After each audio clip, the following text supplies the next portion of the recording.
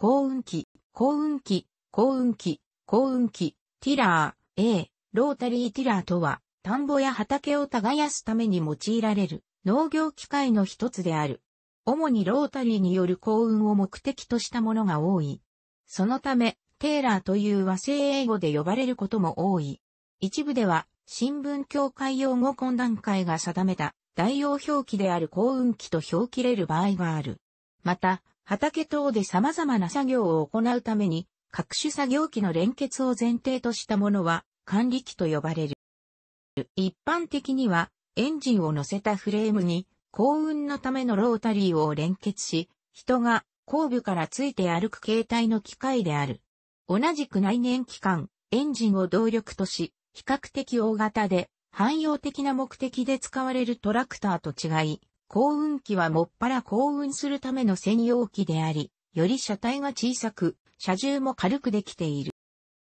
日本において普及が進んだのは、戦後のことで、普及に伴い牛や馬にカラスキを引かせて、田畑を耕す、古来の方法は、廃れてしまった。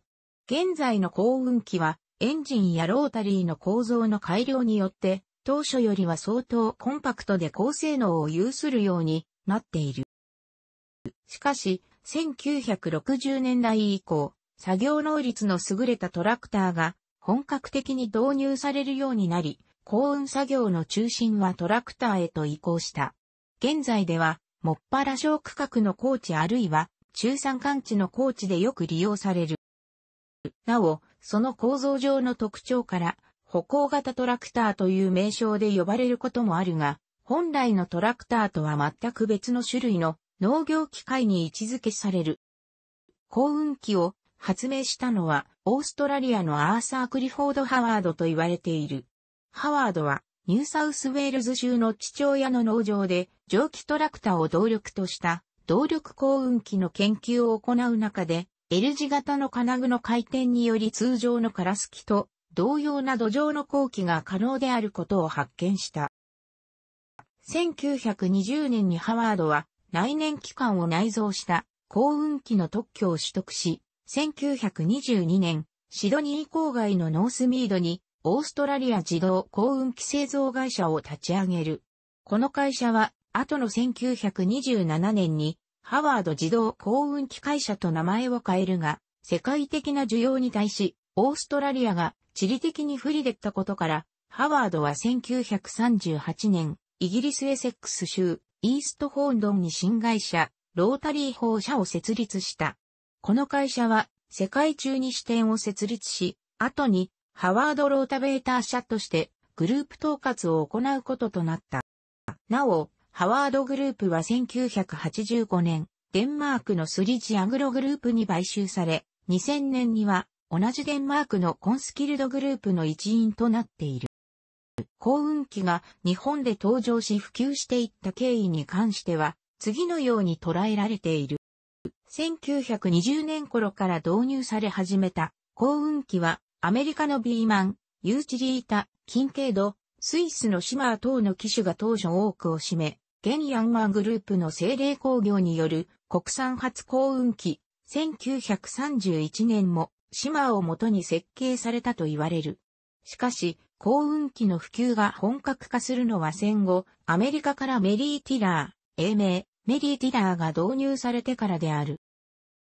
1950年頃導入されたメリー・ティラーは、蓄力用はカラス機をトラクター用に改良した総用はカラス機をアタッチメント、付属作業機として、高温作業用として、また簡易トレーラーをセットし運搬作業用としても、爆発的な普及を見た。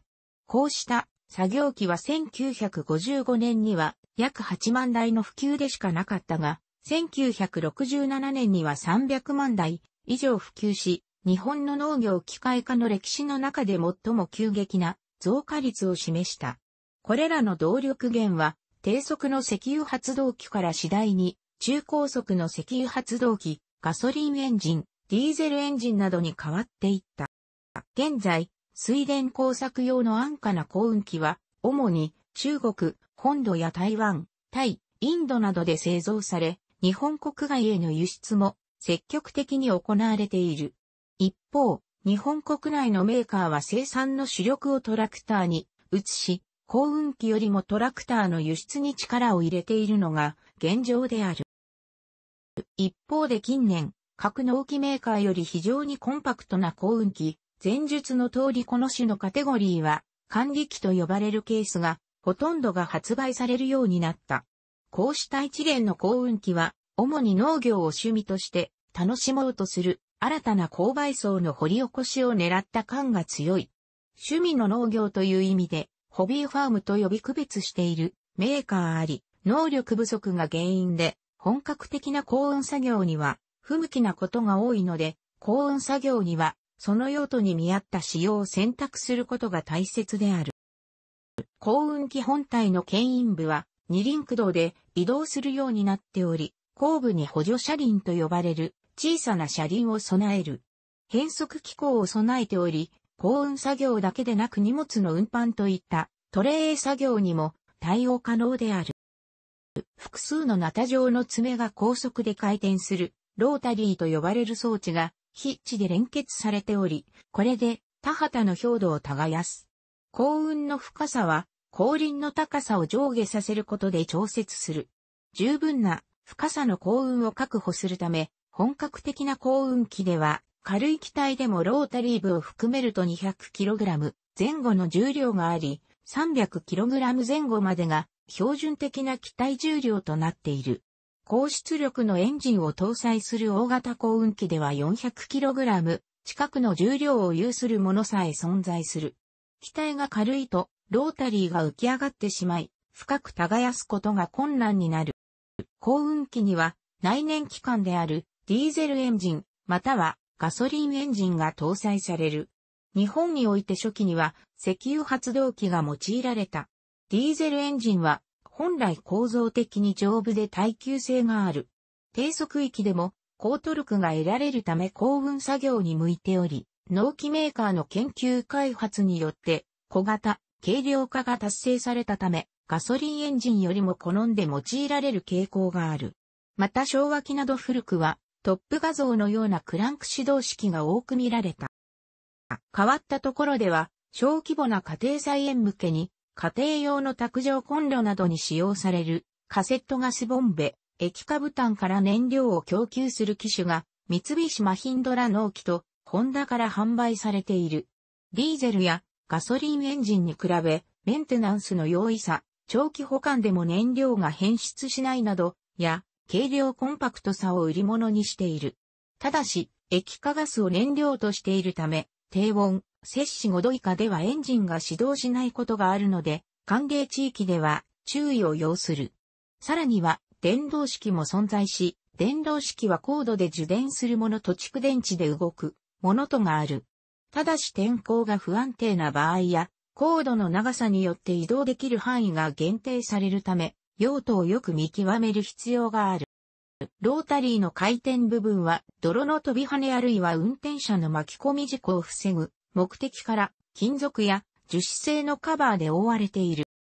ロータリーの構造としては次の種類がある。さらに幸運陣の回転方向による区別から次の仕様に分かれる。幸運機の連結部はトラクターで広く採用されている3点ヒッチとは異なってメーカー独自の規格を採用していることが多い。渦はその一例である。メーカーよりアタッチメントが供給されている場合には、簡易トレーラー、2台全部に簡単な座席のついたリアカーのようなものをセットし、運搬作業用として利用することも可能となる。スピードが遅い、最高時速 15km こともあって、日本では軽トラックに運搬用の役目を譲り、2000年現在、あまり見かけることがなくなった中国やタイなど東南アジア諸国では今なお活躍している。牽引作業を可能とするために、幸運機の変速機構には、副変速機、高速走行用ギアが装備される。機体の重心位置を変更し、バランスを取るために、幸運機の全部には、バランスウェイトが装着可能な仕様となっていることが多い。ロータリー部の重量は、機種によっては40から 50kg 以上に及ぶことがある。そのため、ロータリー部が必要以上に沈み込むことを抑え、幸運作業が円滑に行えるようにするために、幸運機の部に、重し、ウェイトを装着する場合がある。バランスウェイトは、幸運機の操縦安定性に極めて重要な要素を占める。原動機によって直接駆動する2つの車輪はシャフトに接続される。シャフトとタイヤはフランジ、あるいはハブと呼ばれる部品を介して、それぞれの六角、または丸状の切れ込みに合わせることで連結されている。車輪がずれないようにするため、割りピンを装着している。シャフトの寸法、直径はメーカーごとにその規格が統一されていることが多い。標準仕様はゴム製のラグタイヤであるが、水田稲作におけるダイソー作業ではこれを鉄車輪、鉄車にこうすることで対応する。メーカー仕様によっては、PTO、パワーテイクオフシャフトを付属し、脱穀機やもみすり機など、他の農業機械用の動力を容易に取り出し可能としているものもある。幸運機を活用すれば、幸運作業以外にも様々な農作業を行うことが可能である。幸運機には、オプションで多くのアタッチメントが用意されているのが通例である。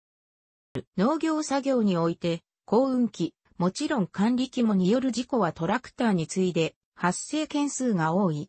したがって安全に作業を行うためにはその取り扱いに十分注意を払う必要がある。幸運作業は全身で行うのが基本である。交代、バック操作をすると、ロータリー部分が容易に浮き上がるため、思わぬ不祥事故につながる危険がある。楽しくご覧になりましたら、購読と良いです。クリックしてください。